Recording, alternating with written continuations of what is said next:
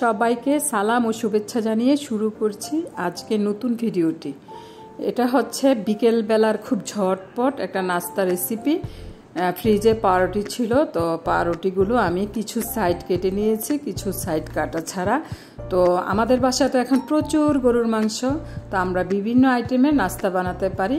তো চুলোতে কীভাবে সহজেই টোস্ট বানানো যায়, গ্যাসের চুলোয়, তাই আমি আজকে দেখাবো। এখানে রান্না করা গরুর মাংস কুচিয়ে নিয়েছি। আর নিয়েছি হচ্ছে পেঁয়াজ কুচি, ধনে পাতা, কাঁচামরিচ কুচি, আর শশা স্লাইস করে নিয়েছি, আর মোজরলা চিজ, গ্রেটার দিয়ে মোজরলা চিজটা গ্রেট করে নিয়েছি।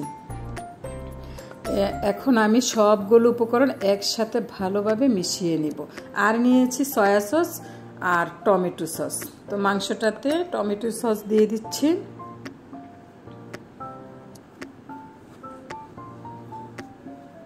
বিকেলবেলা খুব সহজেই এই নাস্তাটা বানানো যায়। বাচ্চারা তো খেতে খুবই পছন্দ করবে টোস্ট। তারপর হচ্ছে এখন দিয়ে দিচ্ছি সয়া সস আর ধনে পাতা, কাঁচামরিচ, পেঁয়াজ কুচি।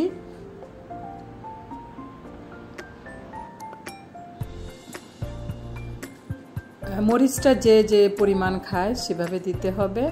আর দিচ্ছি মজরলা চিজ যেটা গ্রেট করে রেখেছি, ওই চিজটা দিয়ে দিচ্ছি। চিজটা দিলে হয় কি, খাওয়ার সময় একটা গ্রেভি গ্রেভি আসে, খুব ভালো লাগে ভিতর থেকে। এখন সবগুলোকে একসাথে ভালোভাবে মিশিয়ে নেব।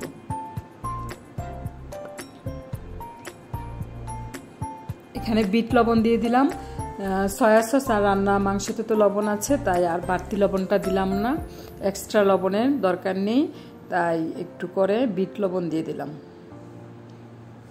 মিশানো হয়ে গেছে, খুব ভালোভাবে মিশাতে হবে। এখন আমি পাউরুটির পিসগুলোতে মাঝখান থেকে এইভাবে একটা স্পুন দিয়ে চেপে চেপে এই মিশানো মাংসটাকে দিয়ে দেব।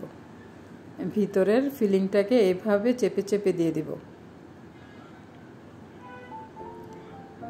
এখন উপর থেকে শসা স্লাইস দিয়ে দিচ্ছি। যেহেতু এখানে এখানে টমেটো সস আছে, তো টমেটো স্লাইস দিতে হবে না। এই তো হয়ে গেছে। এভাবে আমি সবগুলোকে বানিয়ে নেব। এখন আমি কিচেনে চলে এলাম। চুলোতে কীভাবে হয় তাই একটু দেখেন, কি সুন্দর, একদম টোস্টারের মতো।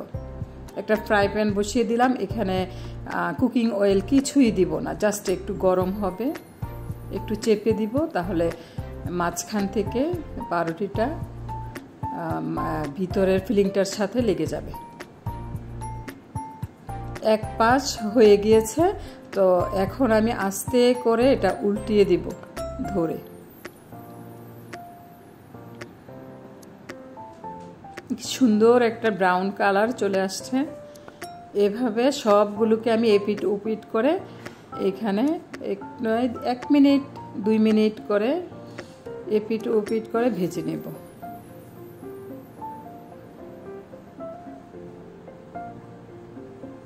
একটু ভালো করে চাপ দিয়ে দিতে হবে।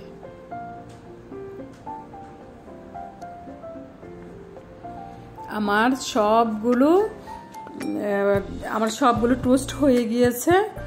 তো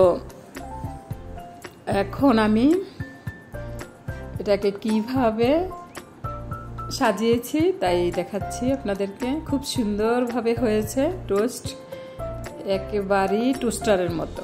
তো এভাবে আমরা ইচ্ছে করলেই বাসায় বিকেলবেলা নাস্তাটা করতে পারি।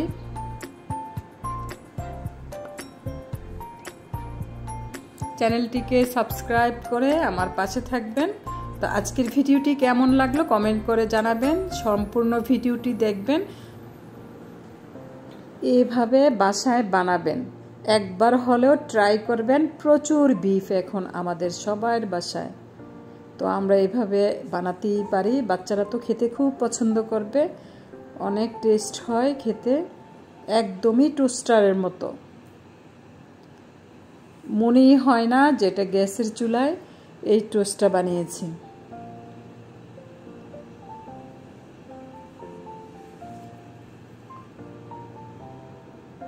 অনেক রকমের নাস্তা বানানো যায় বিকেলবেলায়। ভালো থাকবেন সবাই, আল্লাহ হাফেজ।